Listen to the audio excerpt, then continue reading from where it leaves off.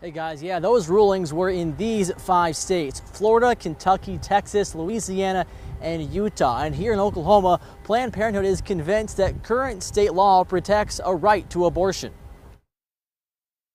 What we're asking the court to do today is to say what they should and that these medical decisions should be private between an individual and their medical provider, and the government should not interfere. Planned Parenthood detailing their lawsuit against Oklahoma's trigger ban that went into effect one week ago today. What have your partners and clinics seen impact wise since this decision from the Supreme Court?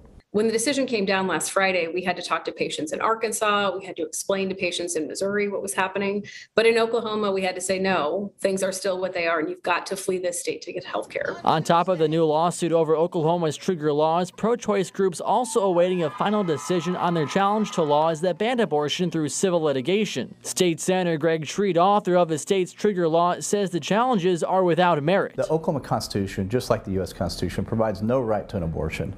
They know that, but they're going to try to get the Oklahoma Supreme Court to, to find that, write that from the bench.